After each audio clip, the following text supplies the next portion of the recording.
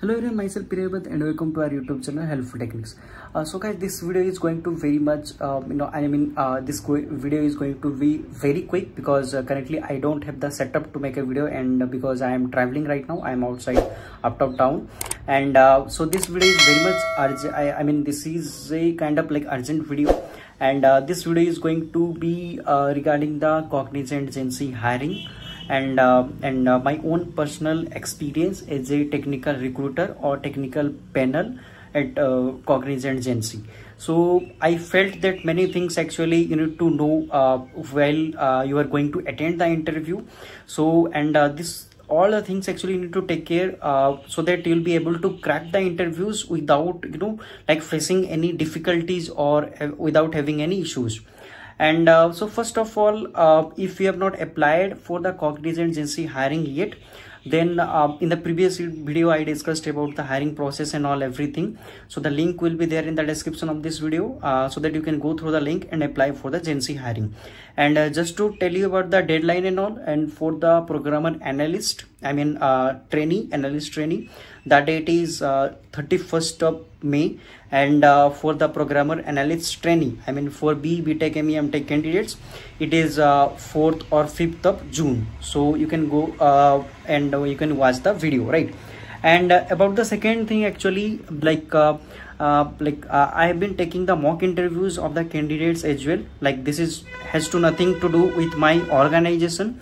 So i am kind of like voluntarily like taking the interviews of the candidates just to make them understand what all key areas uh, they need to work on so that they will be able to know their weakness and they can work further so that during the real interview they will be able to crack the interviews or they will be able to give their 100% you know performance. I mean 100 uh, give their 100% and then they will be able to crack the interviews. So again i'm saying this is nothing to do with my organization and all. So this is a kind of like uh, like kind of like volunteer kind of thing. So now let's discuss about the key points and uh, so that it will be clear to everything. I'll be telling uh, you about few important points. So first of all you need to be like kind of uh, like uh, punctual. I mean to say like you need to join the interview at the scheduled time. So if we, a candidate is not joining within like uh, 10 minutes of the interview uh, time i mean to say uh, let's say your interview starts says uh, at 9:30 a.m. morning let's say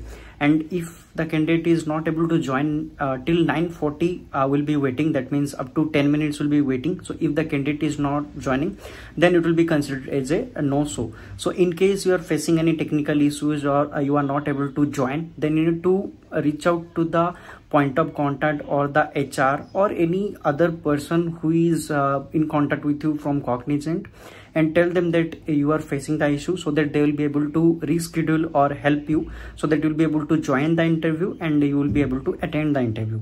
And the second thing actually i'll be telling you that like whenever you are attending the interview and all uh, like in order to shortlist one candidate the candidate should uh, be like uh, able to successfully execute at least like executing at least one uh, question i mean query. So whenever you are writing any code so if in a compiler and uh, at least one code should be executed successfully else the system will not allow us to like shortlist one candidate. So in case you are uh, uh, uh, so, so let's say uh, you have given two questions right? Out of two at least one question will be executed successfully. I mean to say one code should be executed successfully without giving any error. The output should be displayed in the you know output section. It could be any programming language java c python uh, etc anything and uh, so coming to the point so sometimes what happens first impression is the last impression. So if the recruiter has given you only one question the interview is going to be like uh, completed.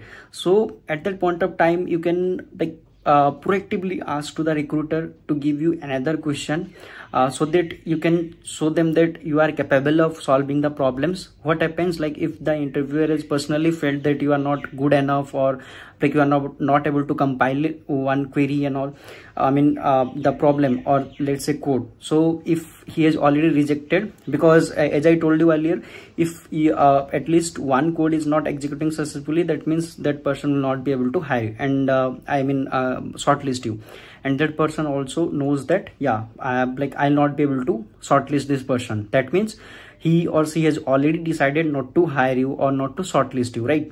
So at that point of time like you can proactively ask them to give you another question i mean to say give you another chance so that you'll be able to like do well if like you are good at coding right? So you can ask for another chance. So if like by you know like uh, if you have good luck or let's say if you are good at coding if you are able to do it then you can change the you know like uh, recruiter's mind or recruiter's decision right? So these are like proactively you can do the things.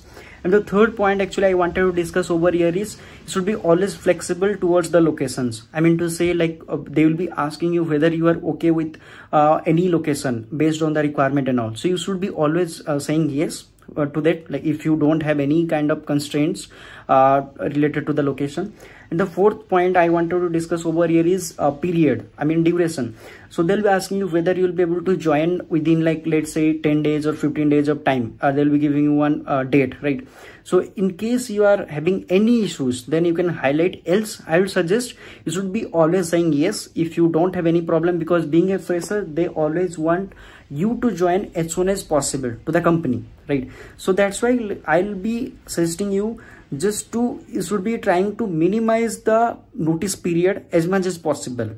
So and then you can tell them and according to your availability and all they'll be deciding whether they should be going forward with your uh, profile or not so these are the few important things actually i just wanted to tell you because before the interview the hrs are never going to tell you about the process and all and the criteria. Yeah so now i'll be telling you about the don'ts. That means what all things actually you not be uh, doing during the interview. So first of all i have all, always seen that due to the lack, lack of the you know practice whenever the recruiter is asking you any question whether it would be like subjective or the uh, technical or objective or let's say coding question. So we immediately jump to uh, jump to solve the questions right? I mean uh, so you should be taking enough time to just to think let's say 30 seconds or 15 seconds or 20 seconds etc and frame the answer first then come up with the like answer i mean uh, come up with the answer and in your mind then tell the answer right?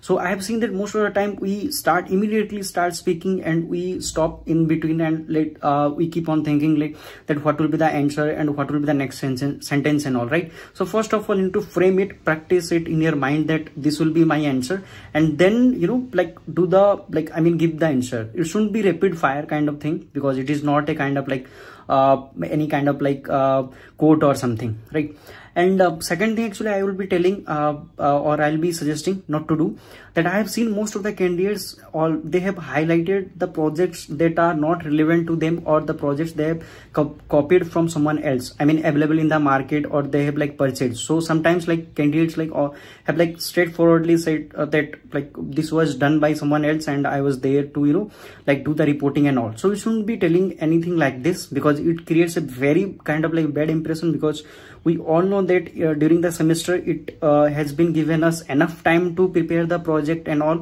so uh, you should be showing, uh, showing us that these many things actually you have done or this this is your contribution whether it's like group project or the single or the individual project. It should be like kind of like extra like innovative ideas if you have given or like let's say like nowadays everything is available in the market. So if you have done something which is not there in the market already you should be always highlighting. So and it always creates a you know kind of good impression. So i'll be suggesting you just practice about the project if you have not done any project which is like if you have not done any project by your own or let's say you purchased from someone else then don't mention those projects. The mention some it's like it, it could be like small projects and all but mention only mention the project which is relevant to your current technology and also which never say that i have purchased from someone else or someone uh, else in my team has built. I adjust for the attendance and all. So never say like this okay and um, and thirdly i'll be saying uh, that never be impatient. So if you are not able to answer to a particular question don't be impatient because next question if you're be, being a little bit impatient or if you're losing the hope that i i am not able to answer to this particular question the the recruiter will re be rejecting me and all. Never think like that because this is not a real exam. Uh, let's say out of 100 you need to score 100 if you're not able to answer the this question in the next question you may you may be able to you know answer to the recruiter. Right. The recruiter never expect that you should be answering the questions uh, like uh, 100 out of 100 right? So it is not like that. So it shouldn't be uh, losing your hope. Always like give your give your best. If you are not able to answer to a particular question no issues. You can jump to the next question or you can ask them please skip this question. No problem and uh, so these are the like points i just wanted to discuss. I mean you should be you shouldn't be doing uh, during the interview because it creates very very bad impressions. So now we'll be discussing what all do's you need to do uh, while attending the interview. Yeah so we have already discussed about the don'ts. So now we'll be discussing about the do's. What all things actually you will be doing uh, during the interview. So first of all you need to be uh, well prepared before attending the interviews. Well prepared in the sense we all know that during the interview the basic or let's say general questions will be asked like uh, tell something about yourself and also uh, tell me about the recent project that you have mentioned in the resume and all and also about your achievements and all right? So being a fresher these kind of questions will be expecting. I mean uh, whatever you have mentioned in the resume the same kind of thing will be asked uh, I mean to say theoretically okay uh, you need to explain. So if you like uh, you need to be well prepared before attending the interview you need to practice uh, always uh, let's say five to six times just practice and you, you can ask your friends or the family members or anyone else just to take your interview uh, while explaining and all else like I am here to help you as a through the help of mock interviews. So just be I mean just get well prepared okay and and secondly i'll be telling uh, that whenever uh, you need to mention the relevant projects like this is very much important because as a fresher you don't have enough things actually just to showcase. You don't have the real-time experience and all right? So whatever they'll be asking from your uh, last achievements and also last project. So whatever achievements you have uh, done or any kind of like extra kind of curricular activities you have uh, you have done or any kind of like projects you have done. Just mention in the resume because everyone nowadays is uh, doing uh, kind of pg uh, programs or attending pg programs and doing the certifications and also attending the seminars webinar etc right? But what else what extra thing you have done?